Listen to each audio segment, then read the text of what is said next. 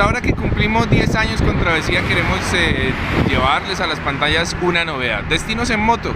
Nos han dicho durante todo este tiempo, bueno, ustedes siempre viajan en carro, siempre viajan en avión, siempre llegan en barco a sus destinos, pero con las motos que tenemos un club grandísimo de gente que tiene motos y que le encanta el turismo, que le encanta visitar Colombia, pero que no sabe muchas veces a dónde ir o cuál es el lugar indicado, la carretera indicada, dónde parar a desayunar, a almorzar, eh, a cualquier cosa. Por supuesto debemos tener una moto en buenas condiciones y cumplir con todas las normas de seguridad y por supuesto de tránsito. Respetar los límites de velocidad y respetar absolutamente todo lo que debe hacerse en carretera para llegar con seguridad. Destinos en moto, nuestro destino de hoy es espectacular, ya lo van a ver.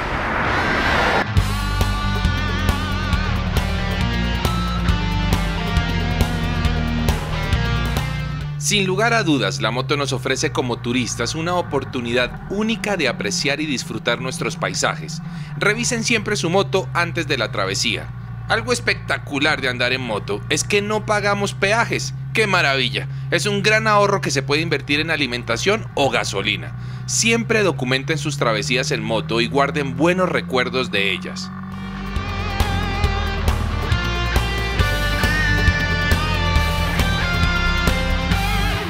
Llevamos una hora y veinte de recorrido, por, salimos por toda la autopista norte de uno de los municipios más bellos de Colombia, que es Villa de Leyva, y por supuesto uno de los mejores hoteles, si no el mejor que tiene Villa de Leyva, eh, el, el Hotel El Duruelo.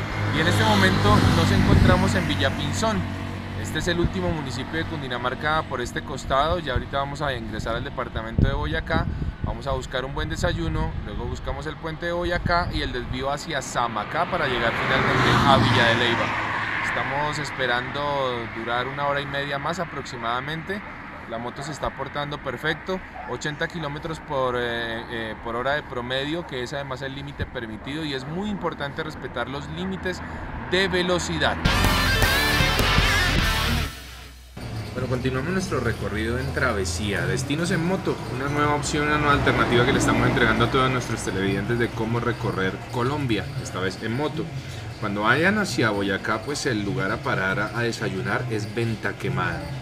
Es espectacular porque aquí vamos a empezar a conocer lo que a mi gusto es una de las arepas más deliciosas que tenemos en Colombia, que es la arepa boyacense una arepa de queso espectacular. Y aquí mismo pueden eh, probar también unos buenos huevos, eh, por supuesto pancito, agua panela con, eh, con queso, gracias, un chocolate delicioso. Es una muy buena opción, una muy buena alternativa, es nuestro recomendado cuando vengan en moto hacia Villa de Leyva, hacia el Hotel El Duruelo, que debe ser su destino en Villa de Leyva, pues se paren en venta quemada y se toman un buen desayuno espectacular.